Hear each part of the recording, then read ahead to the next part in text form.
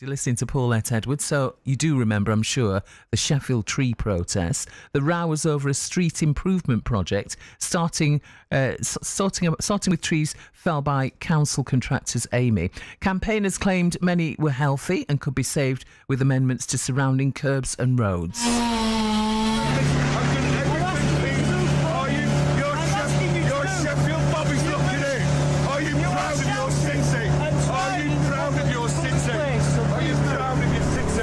Manner in which this operation's been carried out leaves a very nasty taste in the mouth indeed. It's disgraceful. And just for anybody's benefit, I've taken extensive films. I've been here a little while this morning. I did turn up rather late. I didn't find out it was happening until quarter to seven this morning when I was informed of residents being knocked out of their beds at 2 a.m. to move their cars, to uh, ladies arrested outside their own house. These trees are not diseased. The damage to the pavement is minimal. If this was any other city than Sheffield, alternative engineering specifications would be used. I am. Excuse me. Hans Christian Andersen didn't write fairy tales as big as that talking about writing fairy tales, writing stories. So that was uh, tree protester Dave Dillner speaking to BBC Radio Sheffield in November 2017. And there were mixed responses to the protest, but um, has the story ever been told from the tree's point of view? Well, someone who's now created a children's story around the fate of one of Sheffield's trees um, is Lydia Monks. She's a best selling author and illustrator and uh, kind of bristling a little bit listening back to that. It, it's funny hearing Dave. I mean, Dave Dillner sort of introduced me to this particular tree that I was interested in. Um, I, it was outside my little girl's school, and I'd found out it was going to be cut down.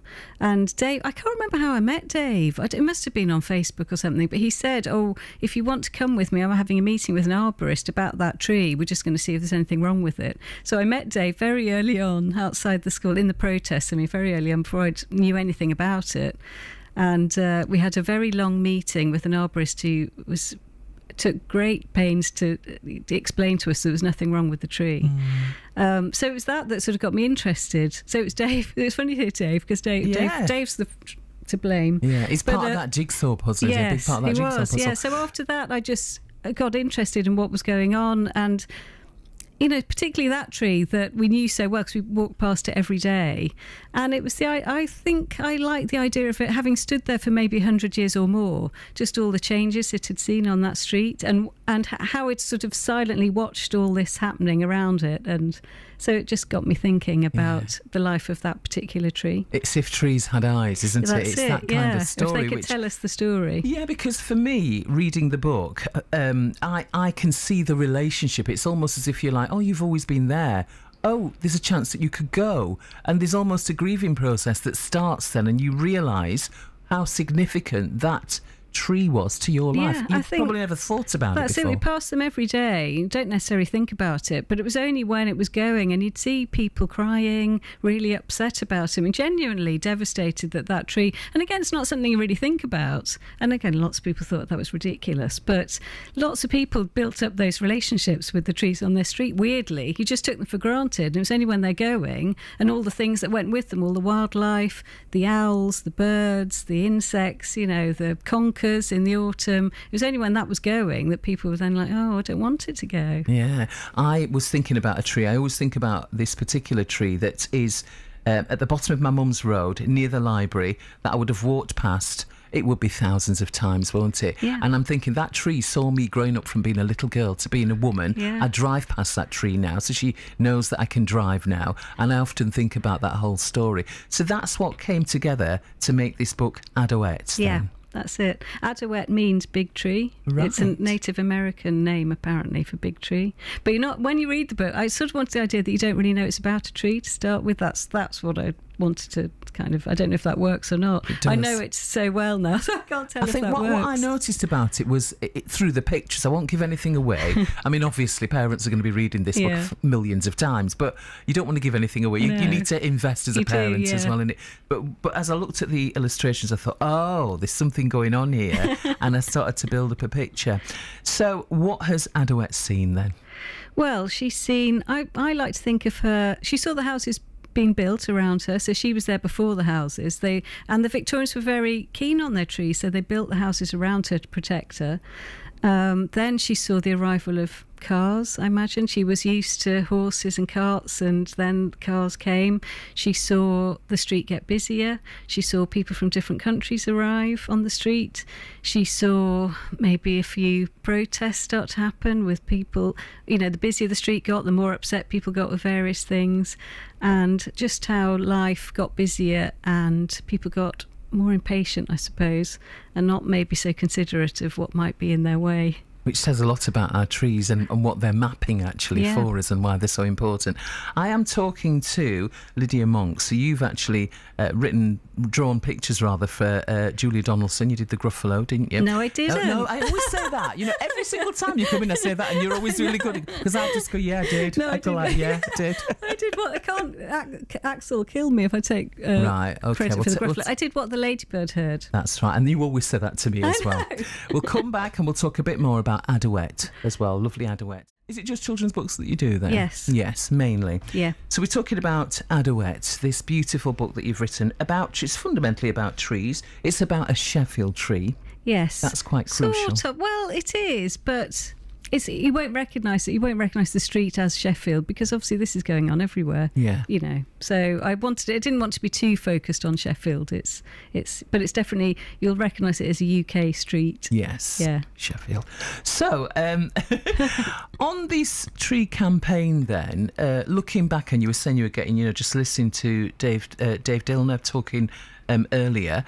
Uh, so Nick Clegg, Jarvis Cocker, Chris Packham all got involved. Do you remember what that felt like? Well, it was good. It just felt that suddenly, because I think people, you know, people locally have been shouting about it for years, and suddenly to get big names picking up on it just really helped get it into the public eye a bit more. So that was quite a turning point, I think. Any sort of big names. I mean, you know, Nick Clegg, you know, obviously it's not everyone's favourite, but he did do. He was very good with the local MP. He he did get involved and and shout about it. So. Um, it was great to have people like that, and Chris Packham was brilliant. Um, but I remember we even had Michael Gove turned up, didn't he, one Yeah. day? So it did definitely helped to get all that sort of national attention. And they're being rewarded actually in this book, haven't they, for their efforts? I've been rewarded, yes. Do you want to say how, or do you want to leave that a Um, secret? I dedicated the book to lots of people who were involved in the tree campaign, um, as many as I could think of. Obviously, there were hundreds of people. Yeah, we've um, got Jarvis Cocker, we've got Everly Pregnant brothers in there, we've got Big Sean in there mentioned, Yeah. Ian Rotherham Yeah. who comes on to talk about you know the environment and nature and all of that. So all of these people have been rewarded in your very Yeah. clever way, actually. Yeah, I um, I just wanted to because people did so much. I mean, you know, I was involved in a very small way, but people did loads, and people put their lives sort of at not their lives at risk, but you know, just getting Reputations arrested. yeah, risk. they did. Yeah, so I just felt, you know, I just put a few names in the back. It's very pretty how you've done it. I won't give that away.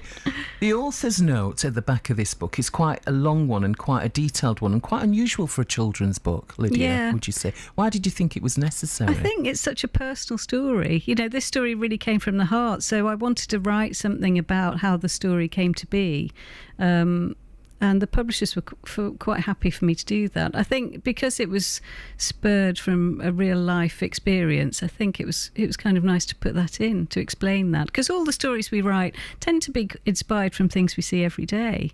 So you know, something so awful that happened inspired what, I hope is something quite nice. And I think in that, in the author's note, for me, is uh, custodians of the earth now, not children, but this is for children as well to raise their conscience, you know, at whatever Yeah. age they are. But it's also there's also a message in there for the adults who could have done better. Yeah, Is that what you're well, saying? that's what I would say. You'd hope that maybe mistakes can be learned from. That's what you'd hope, and that maybe they'll do a better job than we have with looking after the planet. You'd hope. yeah. hope so. And for you, then, is it quite unusual for you to do such a personal book? Yes, it is. It is unusual because normally, obviously, you know the kind of books I do, do what the Ladybird heard, and they're all great, but the publisher's much more reluctant to to sort of swerve off that course and, do, and take the chance of doing something a bit more unusual. So um, it took a long time to get it published. I, mean, I wrote it in 2015, right. so it was a long process getting someone to take it on board and and to go with it.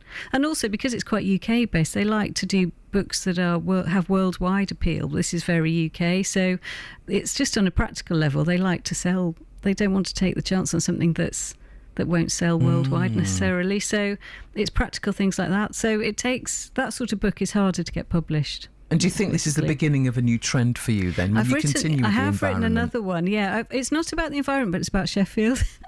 so um, that, but that won't. I have, I've written it, but I've not even started it yet. But I won't give that one away. But that's another historical Sheffield right. story that I've written that's been uh, bought by the same publisher. Right, so, so they are listening. They are. Oh yeah, yes. yeah. So that's yeah. a change because you said it was a struggle for this yeah, one. So yeah, they're, they're quite keen listening. to do another one. Well, yeah. there you go. You yeah. see. So we're on and on you go. And are you illustrating for anyone at the moment? Um, I've just finished. I think I told you before. I've just finished the second book for Floella Benjamin. Yes. Yes. So we've got a new book with Floella coming out in October.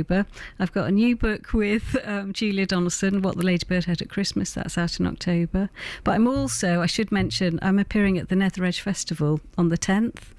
Um, so do, I'm doing a, a, few little Sheffield events uh, before I go off on tour. I'll be going off doing all How the do you find festivals. it tours then? How do you find all that? Uh, uh, it's okay. It's quite tiring. Yeah. It's quite hard. Um, it just makes everything busy. If I'm trying to work and go off every weekend, or it's it is quite difficult. I yeah.